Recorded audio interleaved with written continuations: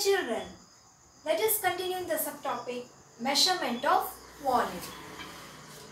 So in measurement of volume, we need to measure two types of solids.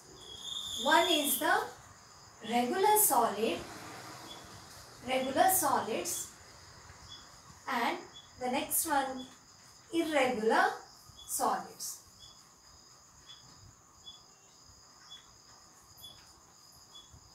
What are regular solids?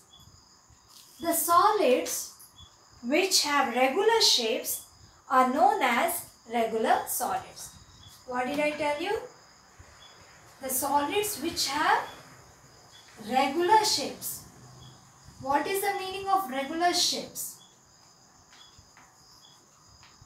For example, what is this? This is a cube. So, cube is a regular solid. It has faces, it has sides. So, this cube is a regular solid. Next, what is this? This is a cuboid. So, we can find the volume of this cuboid. So, cuboid is also a regular solid. So, next, what is this? Sphere. So, we know we can calculate the volume of the sphere. So, this is also called to be as regular solid. So, next,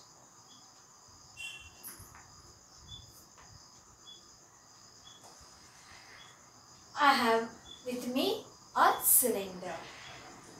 So, cylinder is called to be a regular solid. So, I told you cube, cuboid, sphere, cylinder are the regular solids. So, what are irregular solids? Irregular solids. What are irregular solids? The volume of how we can find the volume of irregular solids?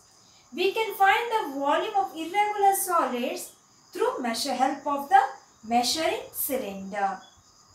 And irregular solids doesn't have sides and faces. So in my hand I have a piece of gravel. You can see. So this is one of the example. This stone is one of the example of irregular solid. The volume of this irregular solid is unknown to us. So how we can measure? So this comes under irregular solid. This is not a cube, not a cuboid, not a sphere, not a cylinder. So this is called as an irregular solid. I have a chalk piece in my hand. What is this? This is a cylinder. So volume of the cylinder we can know. So there are some formulas to calculate the volume of cube, cuboid, sphere and cylinder. So I will tell you even you can note down in your books. So, what is how to find the volume of a cube? Volume of a cube, side into side into side. So, length into length into length. So, L into L into L. So, what is L into L into L? L cube is a formula to find the volume of the cube. Now, what? how to find the volume of a cuboid? Length into breadth into height. So, this is the way where we can find the volume of the cuboid. In cube, all the faces, all the sides are same. So, all the three side length is same. As is a three dimensional object, L into L into L. Okay. And cuboid, length into breadth into height. So, this is the way where we calculate the volume of the cuboid. Then, if I take a sphere, as I showed you already, how to find its volume? Okay, the volume of the sphere is 4 by 3 into pi into r square. So, 4 by 3 pi r square that is radius square. Then, finally, volume of the cylinder. So volume of the cylinder is given as pi r square L. So this is the way by applying these formulas you can find the volume of this regular solids. So as we are learning the how to measure the volume of uh, regular irregular solid. So I think you are very clear with the regular solids. So now let me show you how to find the volume of irregular solid through a experiment. As I said, I am going to show you through some experiment how to measure volume of irregular solid. I will do it later. So now let me tell you measure how to me uh, some of the points about the measuring the volume of a liquid.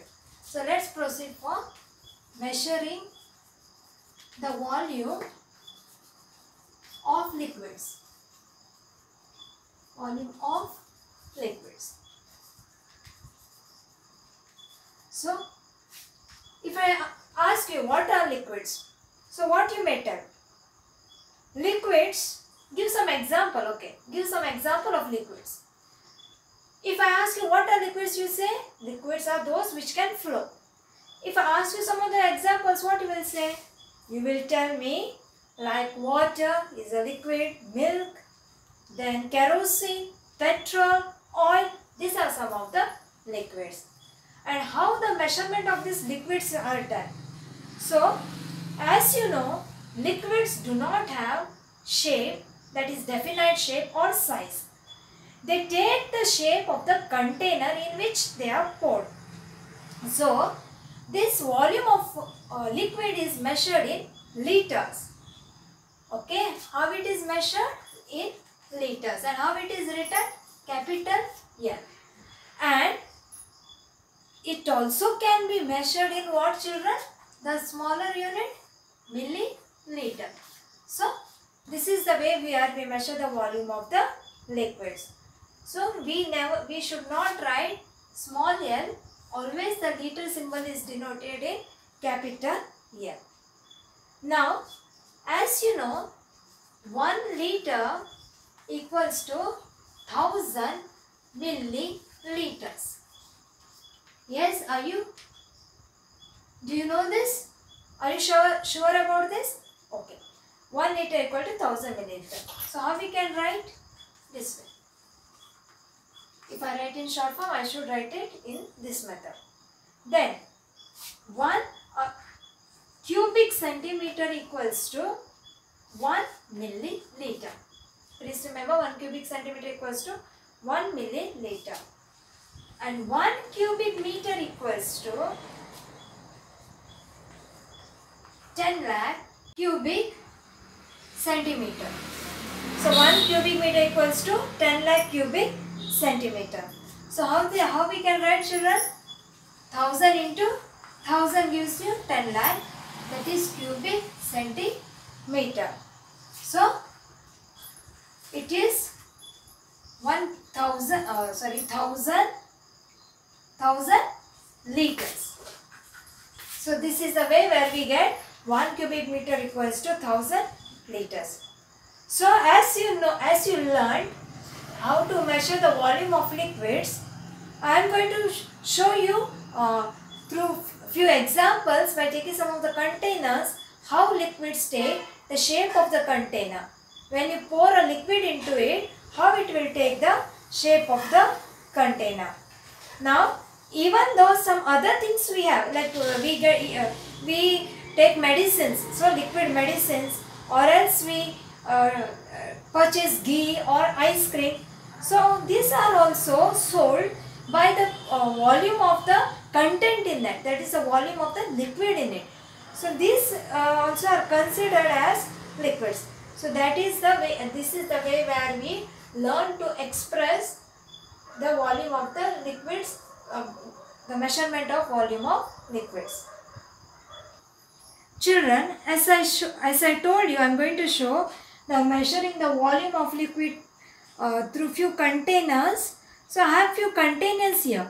Okay, I have taken up a, a glass bowl, a tea, a, uh, this one, uh, plastic glass, a bowl and a water bottle.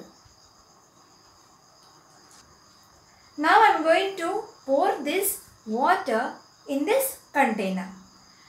Children, remember I am, I am telling you that uh, I am giving you an example that liquid take the shape of the container.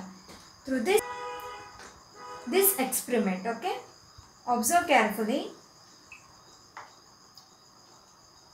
I pour the water in the bowl then in this teacup and in this plastic glass so what can you observe children as I said you liquids do not have definite shape when I pour the liquid in this container and you can see already there I have kept here a water bottle where there is water in this. So you see here the water has taken the shape of this container. As the liquid do not have definite shape nor size, they take the shape of the container in which they are poured. Okay.